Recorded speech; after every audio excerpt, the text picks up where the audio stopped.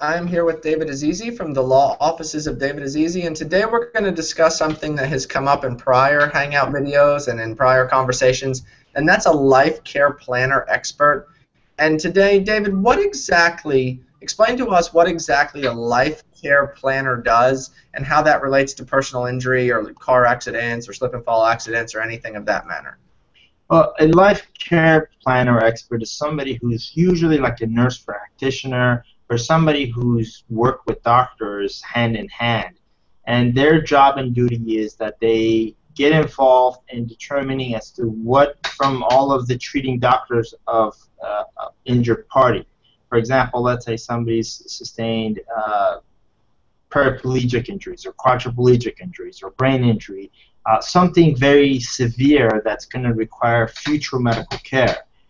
And what they do is then they contact all the doctors and they find out from these doctors as to what type of medical care this patient or injured party is going to require.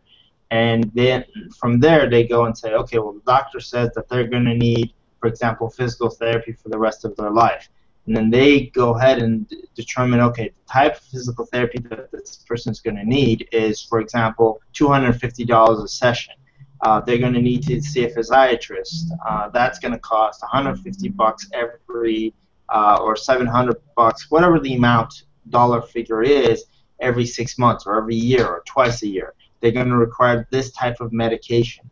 Uh, sometimes we've had it with paraplegic, quadriplegic people uh, that they requires their house to be modified. So in case they live on the second floor, they now need to be moved to another place because obviously going upstairs is going to be harder. So they count for that stuff. So they kind of do what they call a minimum life care plan, which is trying to determine as far as the future what medical care this person is going to uh, need. Because ultimately, when we go in front of a jury, we have to let the jury know or even the defense as to what the future medical cost of this person is going to be aside from the pain and suffering so that we can make sure that we recover on behalf of our client the maximum recovery that they can get at this point in time. And that's what a life care uh, planner or expert does. Absolutely. So if you have been in a car accident or a slip and fall accident or any type of personal injury, case, please feel free to contact the law offices of David Azizi. You will find the phone number both above and below. Thank you for your time, David. All right, thank you.